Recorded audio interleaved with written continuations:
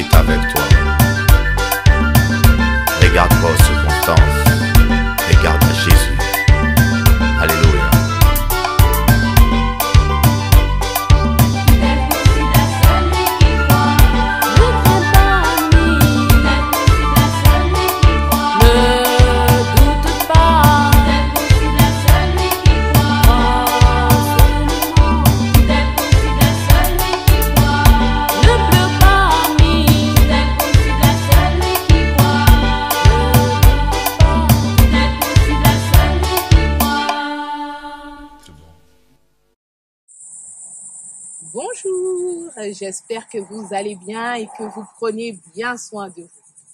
Alors, petit conseil pour vous, mesdemoiselles, qui êtes à la recherche de l'être aimé.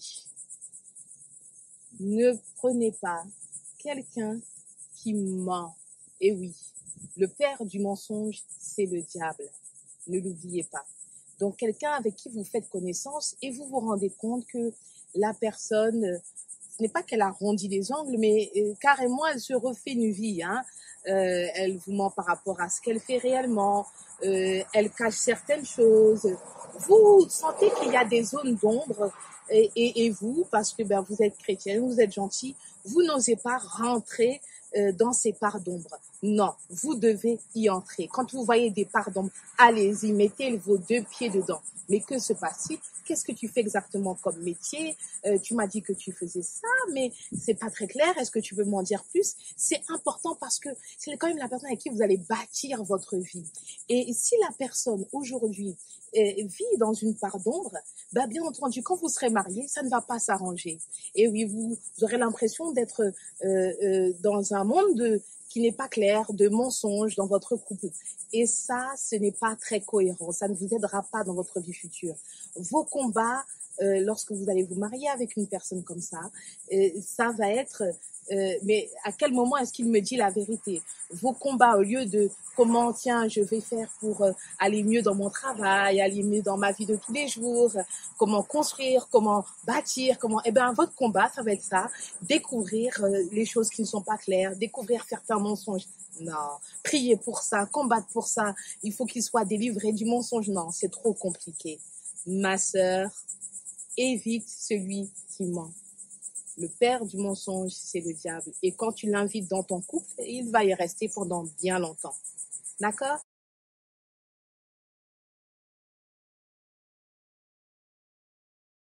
Bonjour, cher ami et téléspectateurs.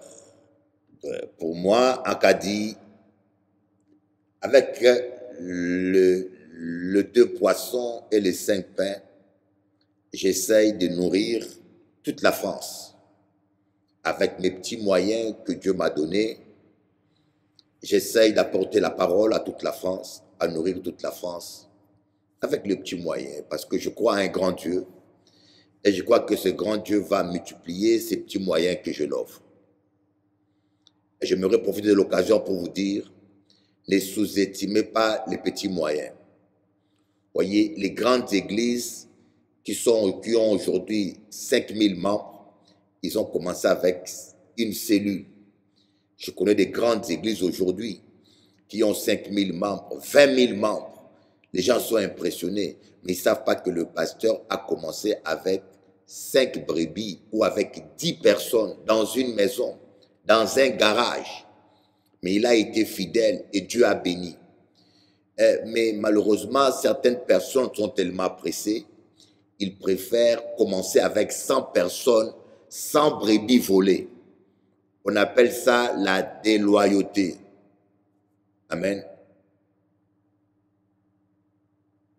On appelle ça la déloyauté. Il y a des gens, ils préfèrent démarrer avec 100 personnes, 200 personnes, après avoir divisé une église.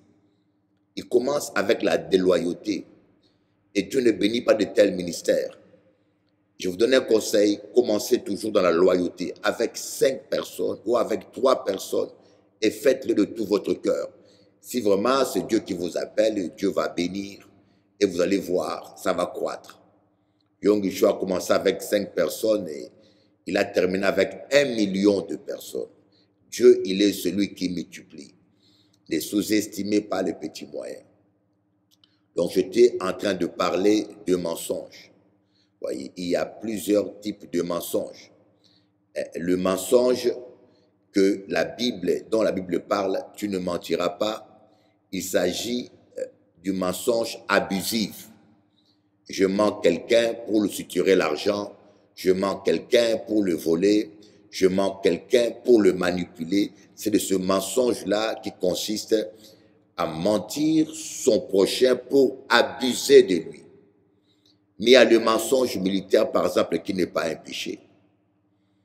Euh, je suis un commando un, chef d'armée, euh, euh, je dirige une opération militaire dans les camps ennemis. J'ai 10 000 soldats qui sont cachés auprès de la rivière et je suis capturé par l'ennemi. C'est un exemple que je vous donne. Je suis capturé par l'ennemi.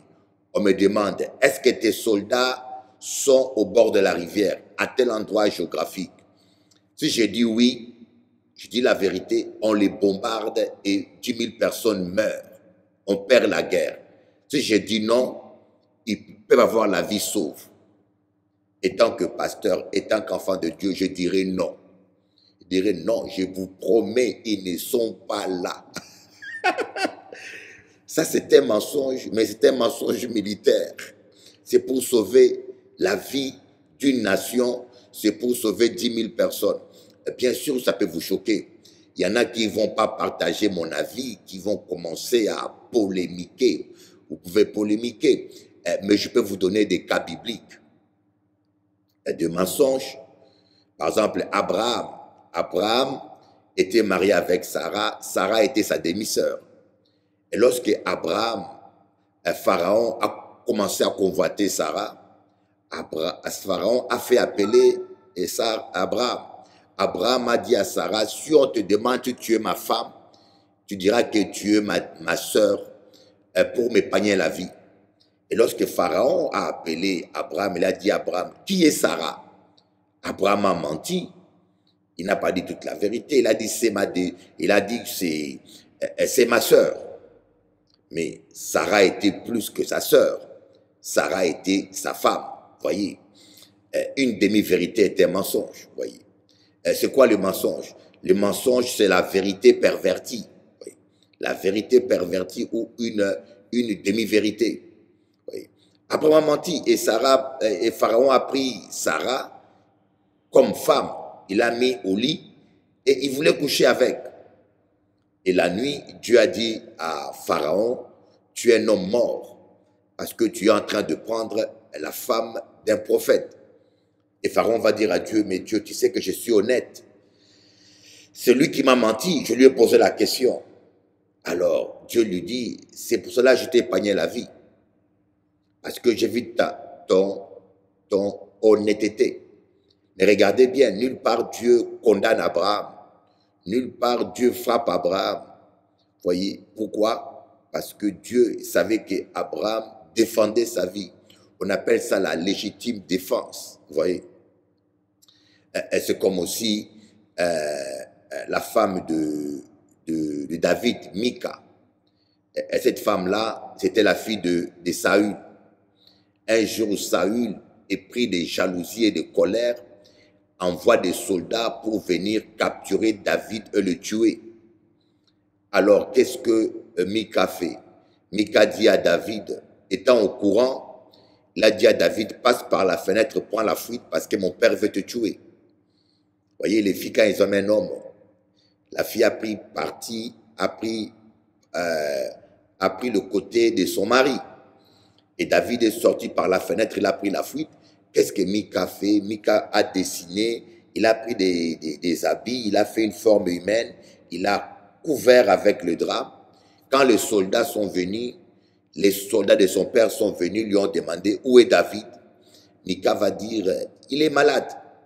Voyez, pendant ce temps-là, David est en train de, fuir. Mika a menti. Et puis, quand on va dire à Saül, mais David est gravement malade, on l'a, on, couvert de drap. Et Saül voulait tellement tuer David. Il a dit, prenez le malade, amenez-le ici.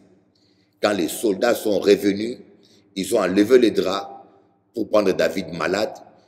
Ils se sont rendus compte ce n'était pas David, que la fille du roi, Saül, avait mis des draps sous, un drap, sous une couverture, pour donner une forme humaine.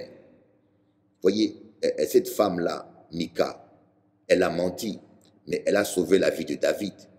Voyez Donc, euh, le mensonge dont parle la Bible, euh, c'est le mensonge abusif. Chercher à abuser de quelqu'un, chercher à voler l'argent de quelqu'un ou, tromper sa femme, tromper son mari. Vous comprenez? Euh, un, un, exemple Il y a des cas, il y a des cas, voyez, voyez. Tout ça, c'est dans le but, le but que vous poursuivez. C'est comme la Bible dit, tu ne tueras pas. La Bible dit, tu ne tueras pas. Eh, mais il y a des hommes qui tuent sans péché.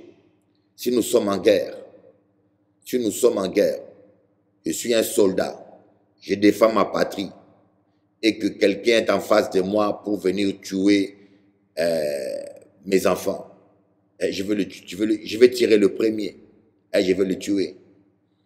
Eh bien oui. Si je peux, si je peux, euh, le, si le voisin vient avec un fusil euh, pour descendre ma, mon fils, je sais que ce monsieur vient avec un fusil pour descendre mon fils, il pointe son revolver sur mon fils. Si je peux tirer le premier, je ne vais pas hésiter. Eh bien oui, je ne vais pas hésiter, je vais viser la tête et je vais le tuer. Mais on appelle ça assistance à un homme à danger. Et si le voisin sort le fusil pour me tirer, je tire le premier. On appelle ça légitime défense. Mais tu as tué. Voyez. Donc il ne faut pas lire la Bible littéralement. Lorsque la Bible dit tu ne tueras pas, ici il parle des règlements de compte. Règlements de compte, des conflits relationnels. Eh, il a volé mon pain, je vais le tuer. Il m'a insulté, je vais le tuer pour me venger. Voyez, là, il il s'agit pas de légitime défense, il s'agit pas de, de, euh, de, défendre un pays. Les, les, Israéliens tuaient, hein, quand ils allaient en guerre. Lorsque Josué était en guerre à, contre Amalek avec Israël, vous croyez qu'il faisait quoi? Il tuait. C'était épée contre épée. Mais la parole de Dieu dit, tu ne tueras pas. Voyez? Mais il faut comprendre les contextes. Quand vous lisez la Bible littéralement, euh, croyez-moi, euh, comme certains pasteurs le font, comme certaines personnes religieuses le font. Un exemple, le foulard. Le foulard. Il y a des principes euh, par lesquels on peut juger une interprétation. Euh, lorsque un concept, une interprétation est contredit quelque part dans la Bible, il ne faut pas le prendre en compte. La Bible s'interprète par elle-même. Vous comprenez? Un exemple. La Bible dit bien, Dieu ne regarde pas à l'apparence, il regarde au cœur. C'est la Bible. Dieu ne regarde pas à l'apparence, il regarde au cœur. Et en même temps, quelque part, l'apôtre Paul dit, une femme doit être voilée. Une femme, quand elle prie, elle doit être voilée. Vous voyez, il y a comme une contradiction. Dieu ne regarde pas l'apparence, il regarde au cœur quand tu pries. Et en même temps, l'apôtre Paul dit, une femme, lorsqu'elle prie, elle doit être voilée, car la chevelure lui a été donnée en guise de voile. Donc les femmes qui ont les têtes rasées ou bien les cheveux comme des garçons, euh, leur prière ne monte pas. Mais cette interprétation-là, dans certaines églises où on impose aux femmes de mettre des voiles, est-ce que c'est valable? Elle n'est pas valable. Les gens en ont fait une doctrine. Pourquoi elle n'est pas valable? D'abord, ce passage ne se trouve que dans Corinthiens. Est-ce que le voile était une pratique au temps apostolique? Non.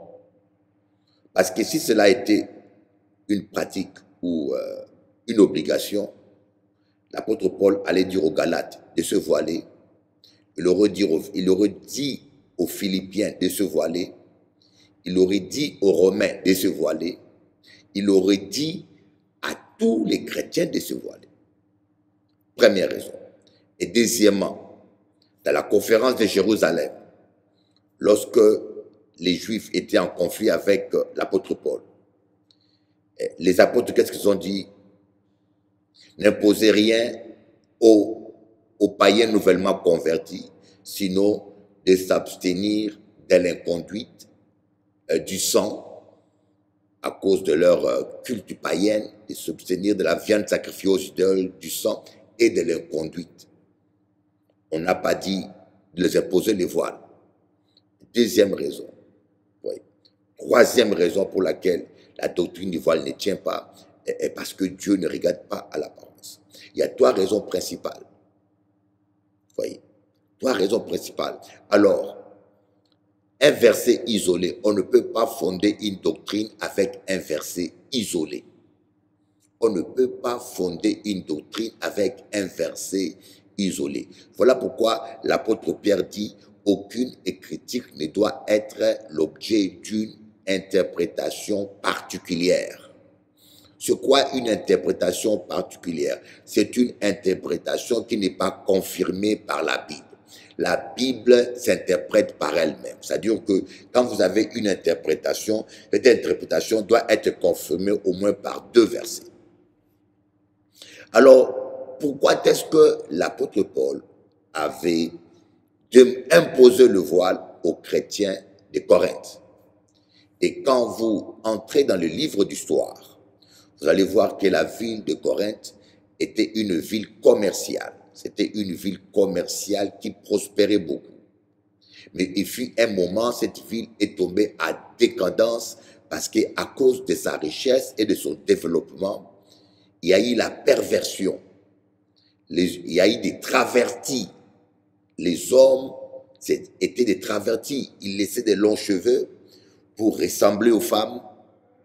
Et les femmes coupaient des cheveux pour ressembler aux hommes. Les femmes qui sont avec des femmes, hein, des lesbiennes, elles coupaient leurs cheveux pour ressembler aux hommes. Alors, euh, cela est venu jusque dans l'Église. À cause de cela, l'apôtre Paul va dire, quand vous priez, les anges vous regardent. Quand vous priez, Dieu est là. Dieu est, Dieu est un Dieu d'ordre. Il ne faut pas que la femme, euh, il ne faut pas que la femme soit comme un homme. C'était, euh, euh, un problème culturel est spécifique aux Corinthiens. Et vous allez voir nulle part, nulle part dans la Bible, on impose à quelqu'un de mettre de voile. Nulle part à part là-bas. C'est comme si en Irlande, les hommes mettent des jupes. C'est leur coutume. Ils mettent des jupes. Et si moi j'ai une église en Irlande, je vais écrire un courrier aux pasteurs d'Irlande, je leur dirai, laissez les hommes mettre leur jupe dans l'église. Parce que c'est leur coutume. Ce n'est pas des travertis, ce n'est pas des, des, des, homos, c'est que c'est la culture locale. En Irlande, un homme qui met une jupe, ça ne choque pas. Mais si vous allez au Congo, vous mettez une jupe, un homme, automatiquement tu vas choquer les gens, on va te prendre pour un homo. Amen. Mais par contre, dans ma tribu, dans certains villages africains, les hommes mettent des jupes en paille. Les hommes mettent des jupes en paille, mais c'est les coutumes. Et, ce n'est pas des homos. Vous comprenez? Mais un homme à Paris qui met une jupe, tout de suite on sait que celui-là a des tendances. Voyez? Donc ce que j'écris aux Irlandais, ce n'est pas ce que je vais écrire ici. Si j'ai une église en Afrique, j'ai des pygmées, un exemple. Si j'ai une église en Afrique, j'ai des pygmées. Je vais écrire, je permets aux femmes, aux pygmées femmes, d'entrer dans l'église sans, sans cacher leurs seins, les seins dehors. Ça va vous choquer. Mais chez les pygmées, les femmes n'ont pas des soutiens-gorge. Et les hommes ne convoitent pas. C'est leur culture. C'est leur culture. Les femmes ont des seins dehors, ils n'ont pas de soutien-gorge, ils ont un petit truc, ils vont, ils vivent comme ça. Pour eux, ce n'est pas impudique. La notion de l'impudicité est relative. Ce qui est impudique en Europe n'est pas impudique chez les Pygmées. Ce qui est impudique chez les Bantous n'est pas impudique chez les Chinois. Chez les Pygmées, ils sont nés comme ça, c'est leur coutume. Les femmes ne se couvrent pas les seins et puis les hommes ne convoitent pas. Pour eux, il n'y a pas de convoitise dessus. Vous comprenez? Mais si vous prenez le même courrier que j'adresse aux Pygmées, vous venez l'appliquer ici en Europe, ah ben c'est le scandale. Eh, Ou bien vous venez de la Bible. Vous voyez, il faut comprendre la Bible. Et voilà pourquoi les gens bornés, que cela soit chrétiens, pasteurs bornés, nous avons condamné des innocents.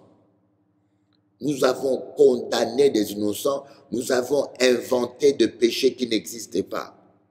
Nous avons inventé. Voilà pourquoi Jésus-Christ a dit, malheur à vous, scribes et pharisiens, eh, eh, parce que vous parcourez le ciel de la terre, vous n'entrez pas, vous empêchez aux gens d'entrer dans les royaumes des cieux, et vous-même, vous n'y entrez pas.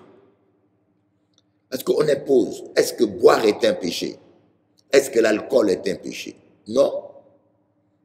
L'alcool n'est pas un péché.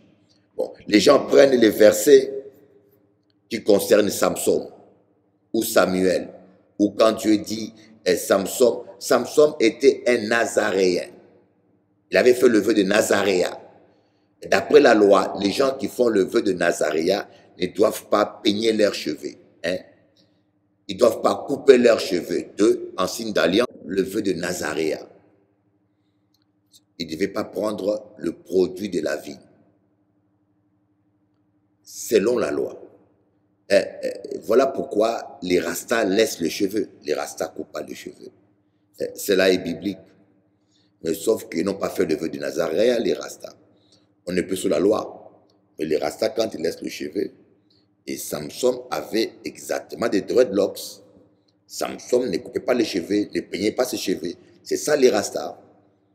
C'est par rapport à ça que les rastas ne coupent pas leurs cheveux. Ils en ont fait une doctrine, alors que c'est pas une doctrine. C'était un appel particulier pour Samson, pour Jean-Baptiste aussi. Les Nazaréens, les Nazaréens, c'est des gens qui étaient consacrés à Dieu. Amen. Alors, nous voyons maintenant euh, de quoi je parle. Jésus a changé de l'eau en vin. Si l'alcool était interdit, Jésus a changé de l'eau en vin. Bon, certains pasteurs disent c'était du jus de raisin.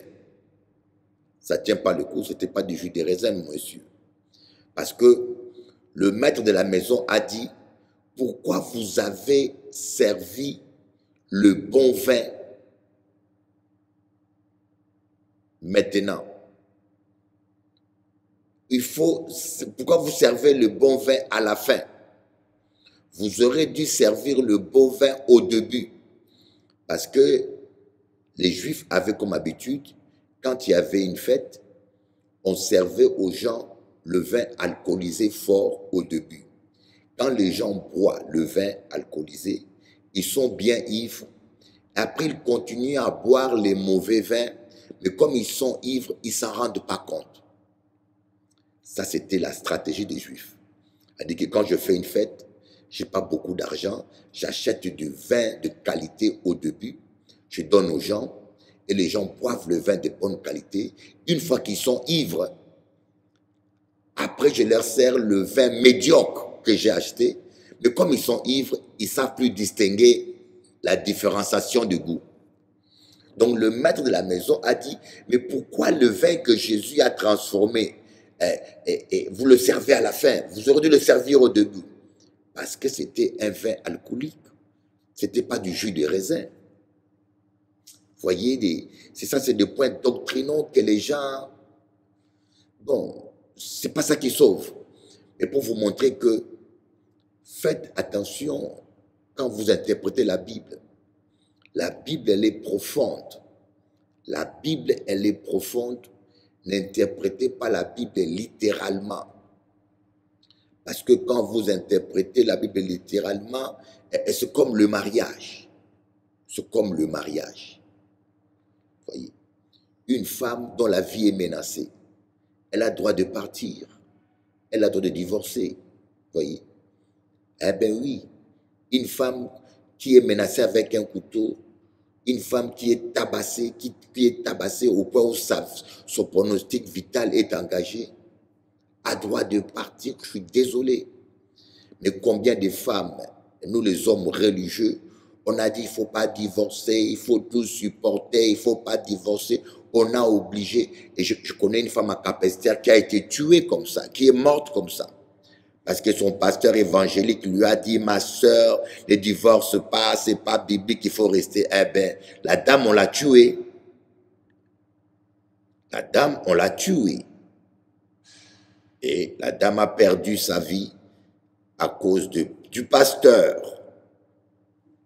Donc voilà pourquoi nous devons faire attention la manière dont on interprète la Bible.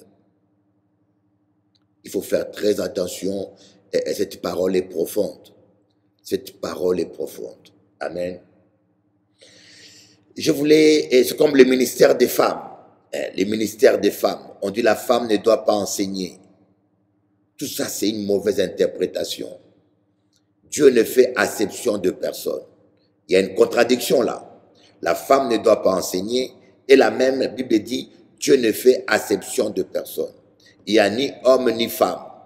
La Bible dit que Christ est tout en tous. C'est Christ qui est le bishop en moi. C'est Christ qui est le pasteur. Voyez, vos, vos filles et vos filles prophétiseront. Voyez, et on dit, dans les derniers temps, je répandrai mon esprit sur toute chair. Vos fils et vos filles prophétiseront. C'est quoi prophétiser? C'est parler de la part de Dieu. C'est prêcher. Voyez, le ministère de la prédication et de l'enseignement, euh, le ministère prophétique se manifeste en trois. Voyez. Dans l'Ancien Testament, il y avait un seul ministère prophétique. Il n'y avait pas de pasteur, il n'y avait pas d'évangéliste. Les sacrificateurs étaient un type de Christ. Mais le ministère, les cinq ministères que nous connaissons, étaient seulement le ministère prophétique. Et ce ministère dans le Nouveau Testament, au temps de la grâce, se manifeste en cinq doigts. Apôtre, prophète, docteur, pasteur, évangéliste. Donc quand la Bible dit vos fils et vos filles prophétiseront. Ça veut dire que même les filles ont droit d'avoir les cinq ministères.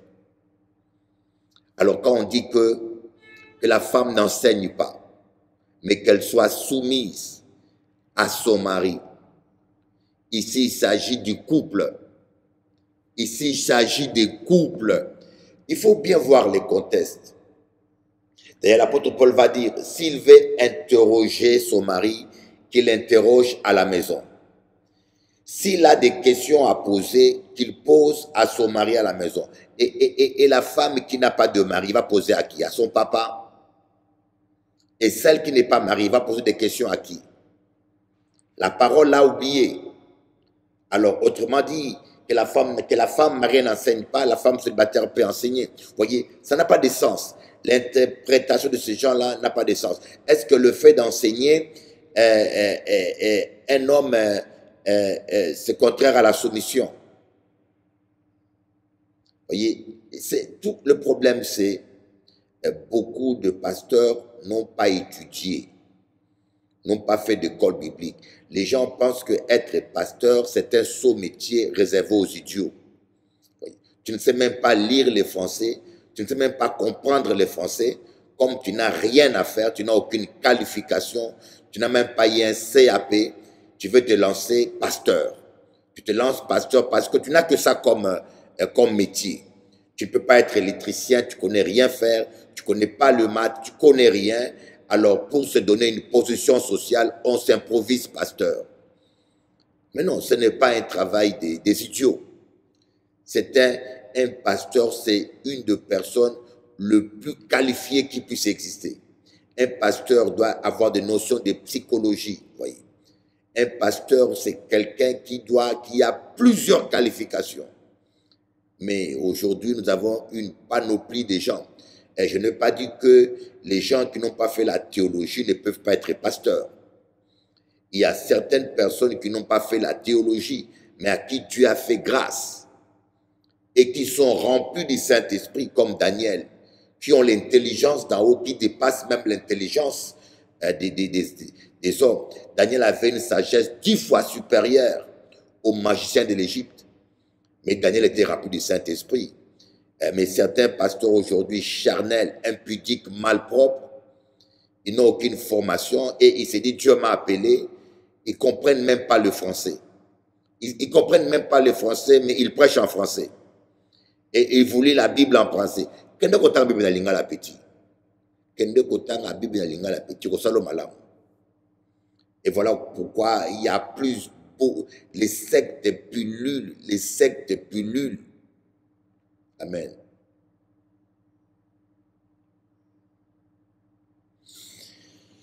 Oh, voilà un peu euh, ce que je voulais partager un petit peu avec vous. Mais ça a pris beaucoup de, temps. Merci Jésus. Et, et j'aimerais surtout vous dire une chose. La vie chrétienne est un combat.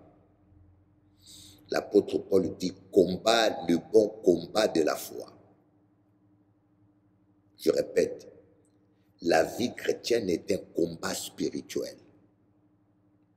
L'apôtre Paul dit à Timothée, combat le bon combat de la foi.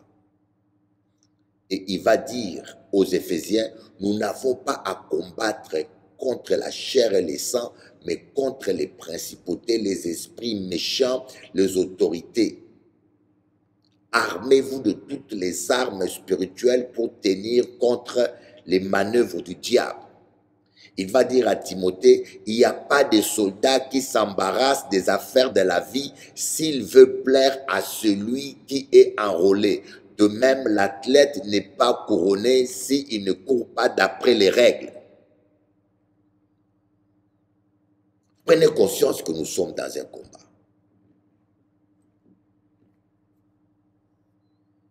Prenez conscience que lorsque vous acceptez Jésus, vous déclarez la guerre. On a vu dans Matthieu 10, Luc 10 ou Matthieu 10, où Jésus-Christ s'est dit, ne pensez pas que je suis venu apporter la paix sur la terre. Je suis venu apporter la division. Un fils aura, un homme aura comme ennemi les gens de sa famille. Le fils contre le père, la fille contre la mère, la belle-fille contre la belle-mère, le mari des fois contre la femme, la femme contre le mari. Et puis il va rajouter, personne ne peut être mon disciple s'il ne se charge de sa croix, il me suit. Celui qui veut gagner sa vie la perdra, celui qui veut perdre sa vie la gagnera. Vous comprenez? Mais pourquoi est-ce que il va jusque-là? C'est parce que et à un moment donné, le diable vous amènera à faire un choix entre Jésus ou ton mari. Et si vous acceptez Jésus, si vous faites le choix de Jésus, Jésus peut toucher ton mari et l'amener à tes pieds. Mais si vous faites le choix de ton mari, vous perdez Jésus et vous perdez la vie. Il y a un moment donné, par exemple, moi, j'avais 14 ans. J'allais tous les mercredis à Linguala, au groupe de prière de la maison biblique, à Linguala. J'habitais à Gombe au 24 novembre et j'allais à pied jusqu'à Linguala. J'allais prier tout le mercredi. Il y avait le frère Maï et d'autres frères qui dirigeaient la prière. C'était un groupe de prière formidable. On priait, c'était extraordinaire. Un jour, mon père m'a dit de ne plus aller à la prière. Je vous le dis un jour, je ne sais pas qu'est-ce qui a pris mon père. Il vient me dire de ne plus aller à la prière. Je lui dis, écoutez, il est hors des questions que je t'obéisse. S'il faut que je quitte la maison, je quitterai la maison. Voyez. Donc le diable va essayer de vous mettre en pression par tous les moyens. Voilà pourquoi je vous dis que lorsque vous êtes marié, vous avez intérêt à prier pour votre mari. Vous avez intérêt à prier pour votre épouse. Parce que si vous ne priez pas pour votre mari ou pour votre épouse, le diable peut l'utiliser facilement pour vous combattre. Vous avez intérêt tout le matin à réclamer le sang de Jésus-Christ sur vos enfants. Parce que si vous ne le faites pas, l'ennemi va les capturer et les manipuler contre vous. Vous savez, dans ce monde, il y a deux camps. Le royaume de lumière et le royaume des ténèbres. Jésus-Christ dit, Satan ne combat pas Satan. Un royaume euh, divisé contre lui-même ne peut pas subsister. Vous savez, il y a, dans ce monde ici, il y a des gens qui sont sous l'influence de Satan ou manipulés par Satan, sous l'autorité du royaume des ténèbres, et il y a des enfants de lumière. C'est simple. Même dans la famille, c'est divisé en deux. Dans votre famille, il y a des gens qui sont manipulés par les démons et il y a des gens qui sont sous l'onction du Saint-Esprit. Il n'y a pas de neutre. Ceux qui se croient neutres, ce sont des captifs. Et c'est là où commence la bataille. Voilà pourquoi Jésus-Christ dit, tu dois aimer Dieu plus que ton Père. Parce que si le diable s'accapare de ton Père, tu lui tiendras tête. Voyez, tu dois aimer Dieu plus que ton mari. Moi, je connais une femme, elle a accepté Jésus. Son mari était franc-maçon. Son mari avait fait un pacte avec le diable. Cette femme-là, je vous je vous avais déjà parlé d'elle. Elle faisait de fausses couches chaque année. Deux fois, deux fois par an, fausses couches. Jusqu'à ce qu'elle a accumulé onze fausses couches. Elle était fatiguée, désespérée. Et elle est venue voir, nous voir, pour demander la prière on a commencé sa délivrance. On a commencé sa délivrance. Et pendant la délivrance, les démons s'est manifesté. Et on a découvert que le mari de cette femme-là, qui était un homme politique, il était sataniste pour avoir le pouvoir et le succès il avait fait un pacte avec le diable. Et, chaque année, il sacrifiait un enfant. Donc, tous les fausses couches que sa femme faisait, c'était des sacrifices humains. Dans le monde occulte, c'était des enfants que ce monsieur donnait à Satan. Et je peux vous dire, ce monsieur adorait sa femme. Ce monsieur donnait tout à sa femme. Il donnait voiture. Il donnait tout. C'est-à-dire que ce monsieur donnait à sa femme tout ce qu'elle demandait. Jusqu'à ce jour-là, quand on a commencé la délivrance, on a chassé les démons, on a brisé ce pacte. La dame est rentrée à la maison elle a trouvé son mari transformé. C'était plus le même homme. Elle a trouvé son mari transformé. Voyez, elle a trouvé son mari transformé. Son mari a commencé à les combattre. Il lui a dit, tu vas plus prier à l'église. Tu dois pas aller là où tu es allé. Tu dois aller à l'église catholique. Tu dois aller partout, mais pas là-bas où on t'a imposé les mains. Tu dois plus aller. La dame a dit, hors des questions. Je vais prier. J'ai choisi Jésus. Le couple était fini. Le monsieur a perdu son pouvoir. Le monsieur a perdu son, euh, son poste il a demandé le divorce, mais il a tout perdu de tout ce qu'il avait parce que c'était un pacte occulte qu'il avait fait sur le dos de la femme. Mais si cette femme-là aimait son mari plus que Dieu, elle se serait soumise à cet homme, elle aurait tout perdu. Bien aimé, le monde est pourri. Il faut que vous, les chrétiens, vous puissiez dire, Seigneur, donne-moi les yeux spirituels pour que je vois la face cachée des gens. Demande à Dieu, Seigneur, montre-moi qui est mon mari. Montre-moi qui est ma femme. Il, faut avoir le don de discernement. Je me rappelle un jour, quand je suis arrivé ici en Guadeloupe, il y avait un prétendu prophète qui s'appelait Vincent. Il s'appelait Vincent. Je l'avais laissé à Paris. Il m'a suivi ici en Guadeloupe. Il avait une mission. Et, ce monsieur pratiquait de l'occultisme à un haut niveau. Je vous dis, j'ai vu des satanistes, euh, mais celui-là m'avait impressionné. Écoutez, j'ai vu des satanistes dans ma vie, euh, mais celui-là m'avait impressionné. Je répète, j'ai vu des sorciers, même dans ma famille. J'en ai vu, il y en a plein côté paternel comme côté maternel. Côté Malouba, côté Bambala. Atala, Meke, Meke. Mais ce gars-là m'avait impressionné. Vincent. Un jeune homme, costaud. Ce monsieur a fait descendre le tonnerre des messieurs, le tonnerre. La pauvre notre sœur Daniela qui est auprès du Seigneur. Elle peut le confirmer. Notre sœur Daniela peut le confirmer.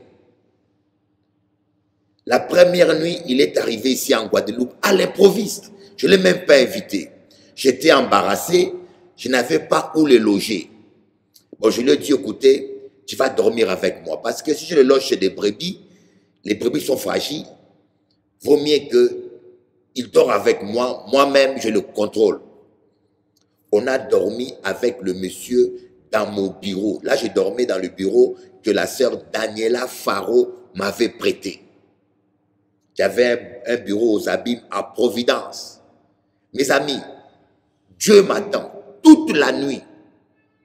Je parlais en langue. La nuit, je me suis endormi. Je vous dis, devant le Saint-Esprit, je ne me suis même pas rendu compte, mais je parlais en langue toute la nuit de minuit à 6 heures du matin, je parlais en langue. Quand je me suis réveillé, je me suis rendu compte que je parlais en langue toute la nuit. J'ai dit, ah, comment est-ce que je dors avec un car, je parle? Parce que c'était un sataniste. Écoutez l'histoire. Et le matin, il y a une jeune femme qui s'appelait Diva Enzol. Diva habitait à, à Pasteur, à, à Gourbert. Diva veut loger le monsieur chez lui, chez elle. Diva me dit, ah, pasteur, je vais le loger. Vous savez, les femmes seules, quand ils voient un homme comme ça, sans discernement, vous les femmes là, vous les femmes, quand vous voyez un homme, vous n'avez pas le discernement, vous allez vous marier un jour avec le diable. Et elle veut loger la dame, le monsieur. Je dis à Sœur Diva, Diva, non, faut pas le loger. Je dois faire sa délivrance. Il y a quelque chose qui ne va pas. Je ne veux pas qu'il aille chez toi. Tu le gardes secret. Je ne veux pas que, tu que, tu le, que tu loges chez toi parce que je, je, pense qu'il faut lui faire la délivrance. Et la sœur du va, comme, je connais Cancan, la sœur du va va aller répéter cela au frère. Il dit, Vincent, Bishop Eli a dit qu'il faut pas que tu viennes chez moi parce qu'il doit te délivrer. Mes frères, le monsieur s'est énervé. J'étais avec la sœur Daniela dans le bureau de Daniela, parce que Daniela avait un bureau, son agence immobilière avec son bureau, et pour aller dans mon bureau, je passais par son bureau. Il m'avait donné une pièce dans son bureau. Vincent est venu, il est rentré dans le bureau de Daniela. Bishop qu'est-ce que tu as dit? Vous saurez qui je suis. Mes amis, le tonnerre est descendu. Je vous dis, devant le Saint-Esprit de Dieu, devant le Père que je crains, je ne vous mens pas. Le tonnerre est descendu. Boum C'est rentré dans mon bureau, ça frappait les, voyez les, les grilles de protection là, ça frappait. J'ai vu ça à, l'œil nu la sœur Daniela est rentrée sous, sous la table. Hein? Dans hein? j'ai entendu parler du diable. A, il y a des satanistes. Il y a des petits. Si ta vie n'est pas en ordre, tu prends la fuite. Si tu n'es pas sûr de Jésus, si tu as une double vie, hein, tu vis dans le péché, tu es un aventurier, tu prends la fuite, mon frère. Moi, je suis resté debout, je commençais à parler en langue Shendoro Kama, Indala Maya Kababa. La maman de Astrid, elle est la maman de Astrid. À un moment donné, Vincent va commencer à aller chez maman de Astrid diriger la prière. Et moi, je me suis décidé d'aller le confronter. Je parlais avec Vincent, comme ça en face. La mère d'Astrid était là. Mes frères, pendant qu'on parlait, il a dit, tu sauras qui je suis. Une grosse pierre. une grosse, vous voyez, une grosse pierre qui tombe sur le toit. Boum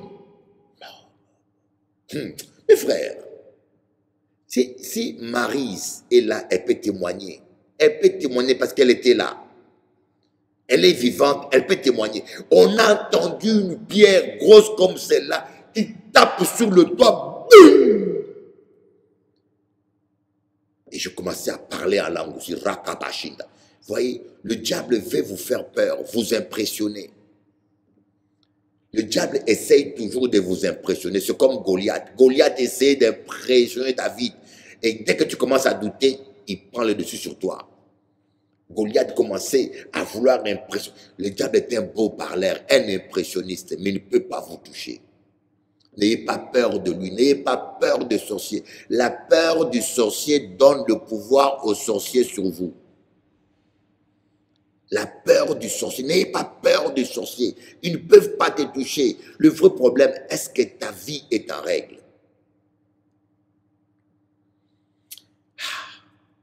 Nous sommes en guerre, bien-aimés. Nous sommes en guerre. Beaucoup sont morts. C'est leur femme qui les a tués.